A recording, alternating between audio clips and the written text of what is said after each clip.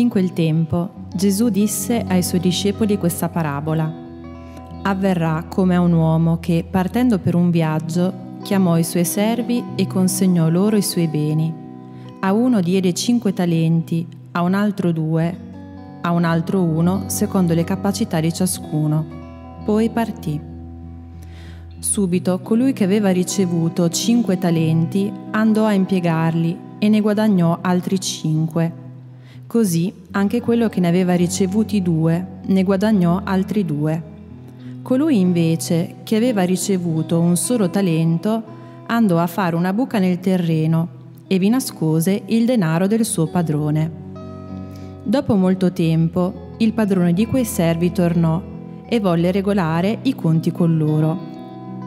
Si presentò colui che aveva ricevuto cinque talenti e ne portò altri cinque dicendo Signore, mi hai consegnato cinque talenti. Ecco, ne ho guadagnati altri cinque. Bene, servo buono e fedele, gli disse il suo padrone. Sei stato fedele nel poco, ti darò potere su molto. Prendi parte alla gioia del tuo padrone. Si presentò poi colui che aveva ricevuto due talenti e disse, Signore, mi hai consegnato due talenti Ecco, ne ho guadagnati altri due. Bene, servo buono e fedele, gli disse il suo padrone, sei stato fedele nel poco, ti darò potere su molto. Prendi parte alla gioia del tuo padrone.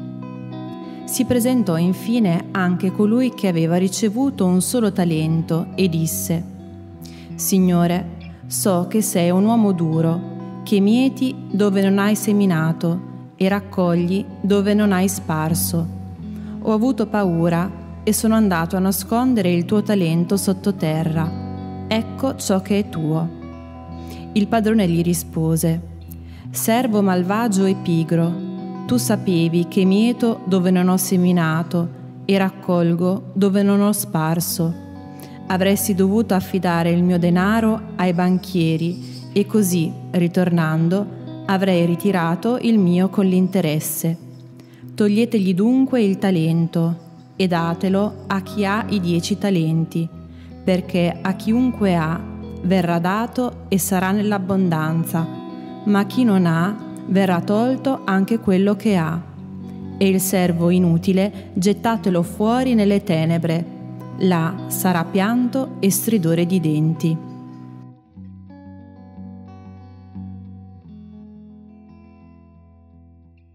La parabola dei talenti è certamente tra le più conosciute e tra le più ricordate dei Vangeli. La morale è chiara, i talenti non vanno sprecati. È un insegnamento tanto cristiano quanto umano. Quello che proviamo a capire oggi è il perché il terzo servo, quello a cui era stato affidato un solo talento, lo sotterra. Qual è stato il problema? Perché a differenza degli altri non ha investito il suo talento? Proviamo ad indagare sulla risposta che dà al suo padrone. Dice così, Signore, so che sei un uomo duro, che mieti dove non hai seminato e raccogli dove non hai sparso.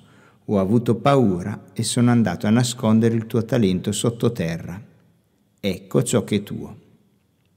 Questo servo ha l'idea di un padrone duro, terribile, ne ha paura. Ci possiamo fermare qui. Ora operiamo una necessaria trasposizione dei personaggi. Il padrone è Dio e i servi gli uomini.